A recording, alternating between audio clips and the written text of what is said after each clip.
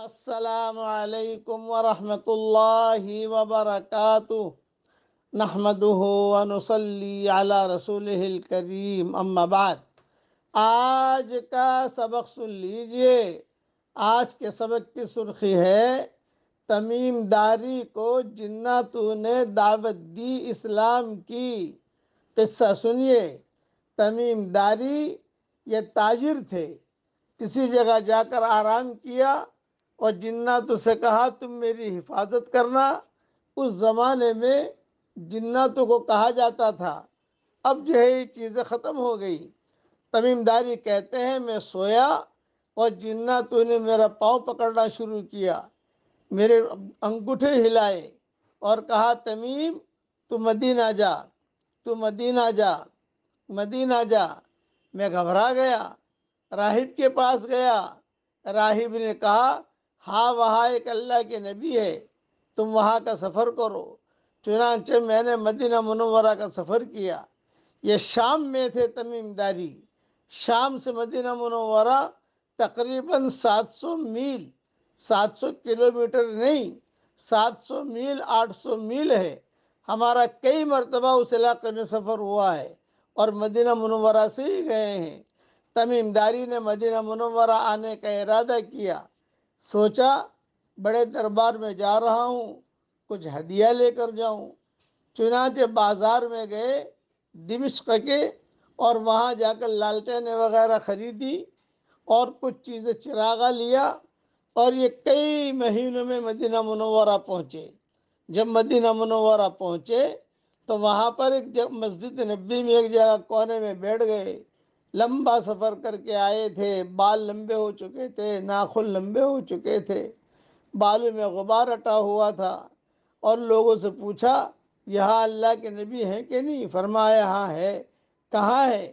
یوں کہا، تم بیٹھے رہو، وہ دروازے سے آئیں گے بھی۔ حضور صلی اللہ علیہ وسلم کا چہرہ دیکھا تمیم داری کہتے تھے، چہرہ دیکھتے ہی میرے دل کے اندر اسلام داخل ہو گیا۔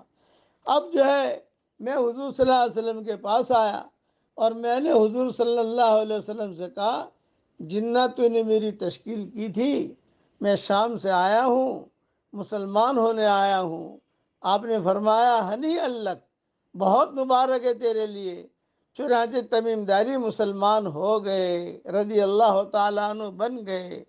اب وہ قدیلے لائے تھے، وہ چراغا جو لائے تھے، وہ حضور صلی اللہ علیہ وسلم کو ہدیہ دینے لائے تھے۔ لیکن یہ دیکھا کہ مغرب کی نماز بھی اندھیرے میں ہو رہی ہے، عشاء بھی اندھیرے میں ہو رہی ہے، فجر بھی اندھیرے میں ہو رہی ہے۔ تمیم داری نے سوچا کہ صاحب، میں جو ہے اس میں تیل ڈال کر مسجد نبی میں قدیل لگا لوں، یہ چراغا کر لوں۔ چنانچہ تمیم داری نے چراغا کیا دوسرے دن۔ حضور صلی اللہ علیہ وسلم مغرب کی نماز پڑھانے کے لیے نکلے تو آپ نے کہا بھائی، کس نے کیا؟ تو کسی نے جواب دیا، حضرت وہ جنات والے نے کیا؟ یعنی تمیم داری تمیم داری گھبرا رہے تھے کہ کسی سے میں نے پوچھا نہیں، کسی سے مشورہ نہیں کیا۔ مولانا یوسف صاحب رحمۃ اللہ علیہ فرماتے تھے، بعض مرتبہ آدمی بغیر مشورے کے کوئی کام کر لیتا ہے لیکن مخلص ہوتا ہے تو اللہ اس کے کام کو قبول کر لیتا ہے۔ اور تمیم داری کا قصہ بیان کرتے تھے۔ کہ تمیم داری نے کسی سے پوچھا نہیں اور وہ قندیلیں لگا دی۔ اب حضور صلی اللہ علیہ وسلم نے مغرب کی نماز پڑھائی۔ آپ نے فرمایا نماز پڑھانے کے بعد این تمیم این تمیم تمیم کہاں ہے؟ تمیم کہاں ہے؟ چنانچہ تمیم داری کہتے تھے، میں گھبرایا، گھبرا کر اٹھا اور حضور صلی اللہ علیہ وسلم کے پاس گیا۔ میں نے حضور سے جاتے ہی کہا کہ حضرت یہ کام میں نے کیا ہے، مجھے آپ سے پوچھنا چاہیے تھا، مگر میں نے آپ سے پوچھا نہیں۔ اگر یہ خیر ہے تو اللہ کی طرف سے ہے، اور اگر شر ہے تو میری طرف سے ہے۔ مجھے اب معاف کر دیجیے۔ آپ نے فرمایا، لا لا لا یا تمیم تمیم یہ بات نہیں ہے۔ تیرے اس کام سے مجھے اتنی خوشی ہوئی کہ اگر کوئی میری بیٹی ہوتی تو میں تجھے اپنا داماد بنا لیتا۔ اتنا بڑا رتبہ دیا حضور نے تمیم داری کو تو میں تجھے اپنا داماد بنا لیتا، مجھے اتنی خوشی ہوئی۔ یہ پہلے، پہلا چراغ ہے مسجد نبی کے اندر۔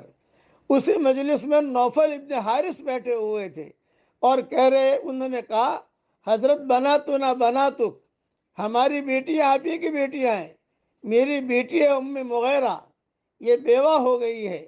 اگر آپ چاہیں تو تمیم کے ساتھ نکاح کر دیں۔ آپ نے فرمایا بہت اچھا۔ چنانچہ ام مغیرہ، یہ نوفل ابن حارث کی بیٹی تھی، اس کے ساتھ تمیم داری جو نو مسلم تھے، ان کے ساتھ نکاح ہو گیا۔ یہ مختصر میں نے بیان کیا ہے۔ تفصیل میری کتاب بکھرے موتی میں دیکھ لی جائے۔ اللہ تعالی ہم سب کو بھی دین کا کام کرنے کی توفیق دے۔ آمین۔